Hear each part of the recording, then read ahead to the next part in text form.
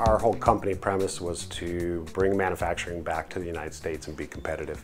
We started looking at things that we could automate simple and inexpensive and so we started doing some research on, you know, is there low cost automation out there? Um, and then we came across the universal robot. Once it actually hit the floor, we got it unboxed and we found a stand for it and I think within 45 minutes we had it up, powered, and were actually programming the robot, just doing simple back and forths and pick and place.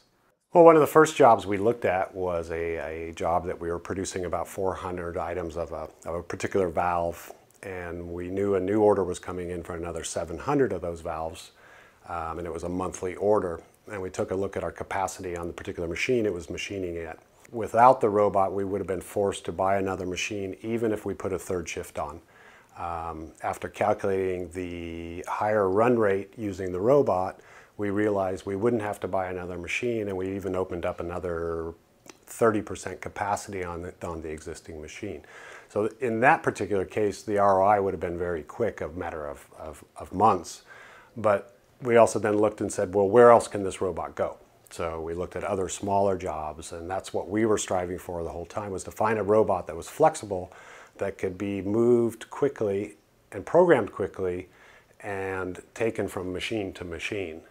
Um, and so that's what we're utilizing it now for. And we, we estimate the ROI was about six months uh, at its current configuration. Honestly, if you can if you can write a to-do list, you can program the robot. It's just simple down just from top down logic, and it's, it's fairly simple to do.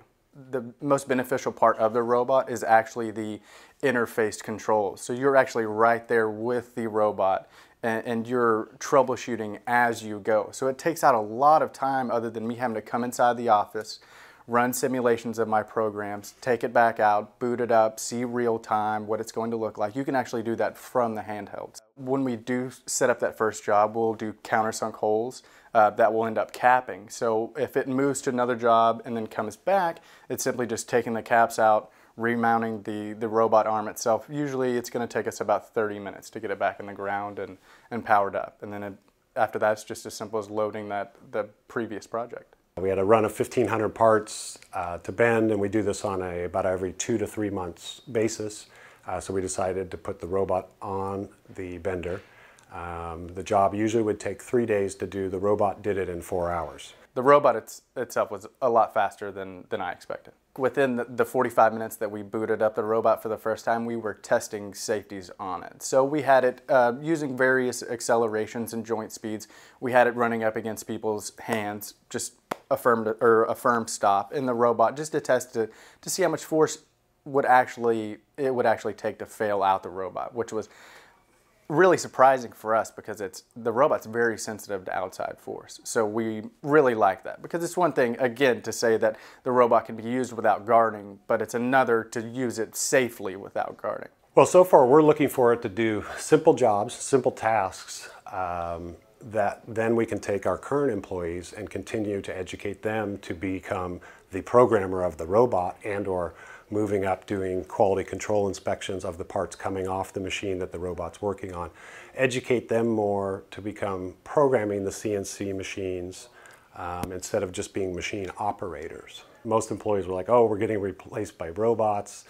And then when it came in and we set it up, they're like, oh, are we losing our jobs to robots? And we brought them over and showed them how easy it was to use the universal robot and what eventually they'll be doing with it and they'll actually be teaching the robot to load and unload and now they've all embraced it and they're all excited to be the first guy that gets to start programming the robot.